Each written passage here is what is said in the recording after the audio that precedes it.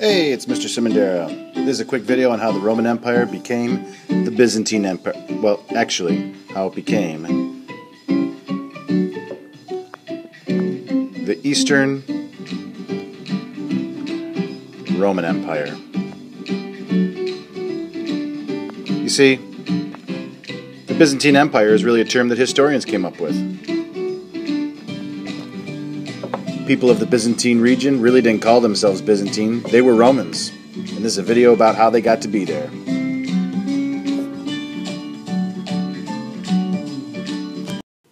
Well, let's start with the basics. Um, right in the middle, we have Rome.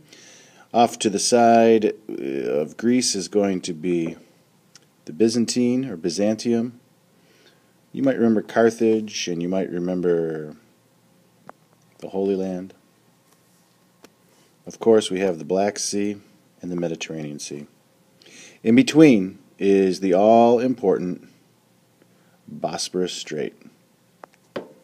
And we will begin to see how the Bosporus Strait will be this toll booth in between the Black Sea and the Mediterranean Sea. Well, around the late 200s, 285 or so, Diocletian the Emperor of Rome is going to realize that the Roman Empire is really just too big and too vast so ultimately, he's going to divide it. There will be a western part and an eastern part. While appointing a couple of governors to uh, rule one side or the other, maybe that seems pretty easy, but it really is the beginning of the fall. About 20 years after the time of Diocletian, Constantine is going to literally take Rome and move it to Constantinople. Well, it wasn't originally called Constantinople. Its original name was Byzantium. What made this city so um, advantageous were all of the trade routes coming in by land and by sea, known as the Silk Roads. So each time products would be coming in, they went to the Black Sea, had to travel through the Bosporus Strait, right through here, the Bosporus Strait, so they can go from the Black Sea to the Mediterranean.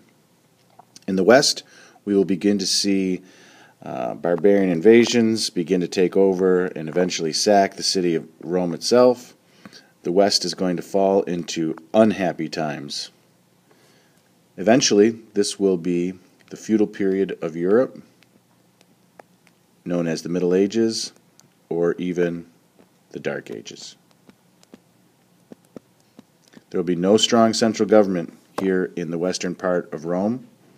However, in the eastern part of the empire, the Byzantine section, there will be much prosperity from those trade routes. Things will be pretty good. Emperors like Justinian will build the Hagia Sophia and revive part of Rome's grandeur, and things will really take off for them, lasting for another 1,000 years.